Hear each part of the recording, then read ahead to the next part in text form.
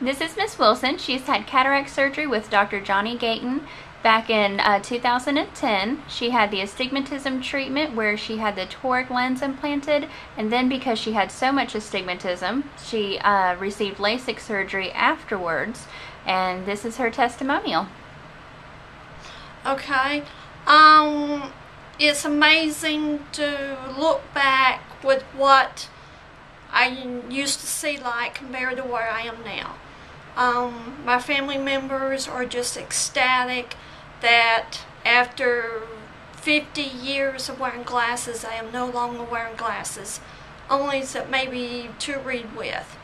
Um, I would not go to anybody else but Dr. Gayton. He is fantastic, and I would recommend it for anybody that wants LASIK surgery to go to Dr. Gayton, nobody else. Thank you.